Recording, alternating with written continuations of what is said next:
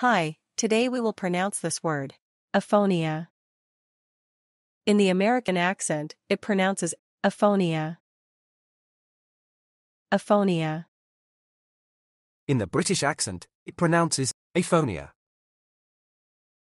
Aphonia. In the Indian accent, it pronounces aphonia. Aphonia. Did you get it?